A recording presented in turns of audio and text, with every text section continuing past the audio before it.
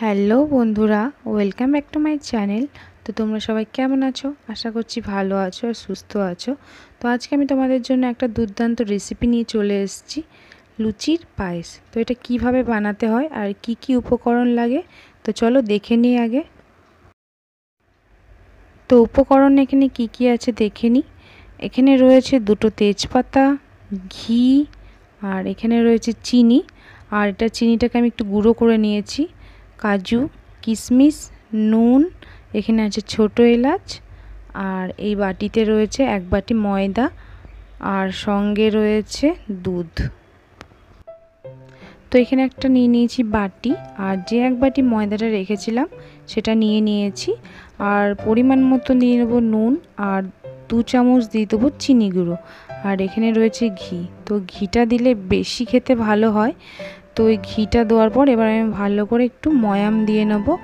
তারপর এটাকে আমি জল দিয়ে মেখে নেব। তো তোমাদের কাছে ঘি না থাকলে তোমরা সাদা তেল দিয়েও করতে পারো। তো এখানে এখন আমি জল দিয়ে নিলাম। তো এবার এটাকে আমি ভালো করে মেখে নেব।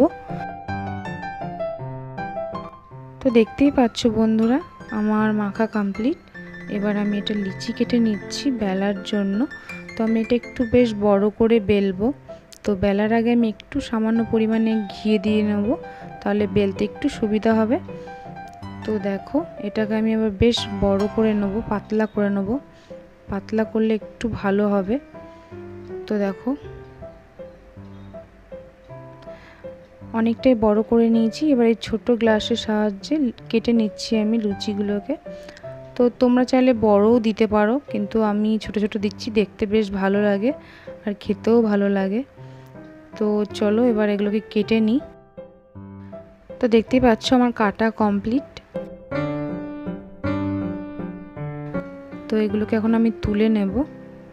আর যেগুলো একটু মোটা মোটা হয়েছে, যে দিকটা একটু মোটা হয়েছে, সেদিকটা আমি বেলে নেব ঠিক এইভাবে।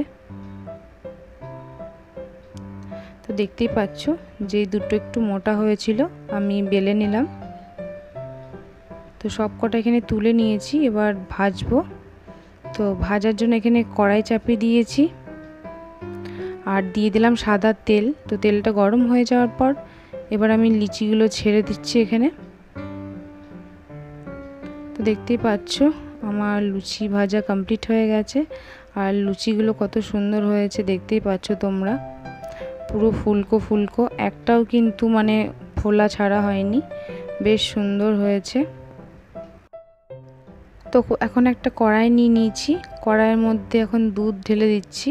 তো এখানে পাঁচশো গ্রাম মতো মাদার ডেয়ারি দুধ নিয়েছি। তোমরা যদি বেশি করো, বেশি নিতে পারো।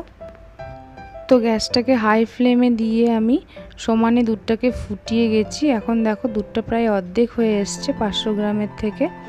তো এরপরে আমি এতে যে উপকরণগুলো দেব, সেগুলো হচ্ছে দুটো তেজপাতা এরপরে দেবো আমি ছোট এলাচ। এটা আমি একটু ভেঙে নিয়েছি, তোমরা চাইলে গুঁড়ো করে নিতে পারো। এখানে আছে কাজু গুঁড়ো। এরপরে দেবো কিশমিশ তো কিশমিশটা আমি দিয়ে দিলাম। আর কিছুটা রেখে দিয়েছি গার্নিশিংয়ের জন্য। তো এরপরে একটু নেড়ে নেওয়ার পর চিনি দেব। তো এখানে আমি এক বাটি মতো চিনি দিয়েছি। তোমাদের স্বাদ অনুসারে দেবে, কেউ যদি বেশি খাও বেশি, কম খেলে কম। আর একটু সামান্য পরিমাণে নুন দেবো। তাহলে টেস্টটা একটু ভালো হয়। এটাকে আমি সমানে যতক্ষণ না চিনিটা গলছে, নেড়ে যাব এইভাবে। তো দেখতেই পাচ্ছ, ফুটে গেছে আর চিনিটাও গলে গেছে। এরপর ভেজে রাখা লুচিগুলো দেবো। তো লুচিগুলো এবার আমি দিয়ে দিলাম এর মধ্যে। তো এরপরে একটু কিছুক্ষণ মতো নাড়াচাড়া করব, হাই ফ্লেমে দিয়ে গ্যাসটাকে। তো দেখতেই পাচ্ছ ফুটে গেছে, তো এবার আমি গ্যাসটা বন্ধ করে দেবো। আর একটু না তোমরা দুধটা ঝোল ঝোল রাখার চেষ্টা করবে, কারণ লুচিতে অনেকটাই দুধ টানে, সেই কারণেই বলছি। গ্যাসটা বন্ধ করে দেওয়ার পরে দুধটা কিন্তু অনেকটাই টেনেছে, আর দেখতে কি দুর্দান্ত হয়েছে, দেখো। একটা বাটি নিয়ে নিয়েছি, এখন আমি সার্ভ করে দিচ্ছি লুচির পায়েস। তো দেখতেই পাচ্ছ, খুব সুন্দর হয়েছে, আর দুধটা দেখো পুরো গাঢ়। আর এটা কিন্তু খেতে দারুণ হয়, অসাধারণ হয়। তোমরা কিন্তু একবার ট্রাই করো অবশ্যই। তো উপরে এখন আমি গার্নিশিং করে দিচ্ছি, দেখো কিশমিশ দিয়ে। তোমরা চাইলে বাদাম, পেস্তা, গোলাপের পাপড়ি যে কোনো দিয়ে গার্নিশিং করতে পারো, দেখতে সুন্দর লাগবে। আর এভাবে একবার করে দেখো, খেতে জাস্ট অসাধারণ লাগে। তো এটা দেখে যদি তোমাদের ভালো লেগে থাকে লাইক শেয়ার কমেন্ট করতে ভুলবে না। আর যারা যারা প্রথমবার আমার চ্যানেলে সাবস্ক্রাইব করে দিও আর পাশের বেল আইকনটা প্রেস করে দিও।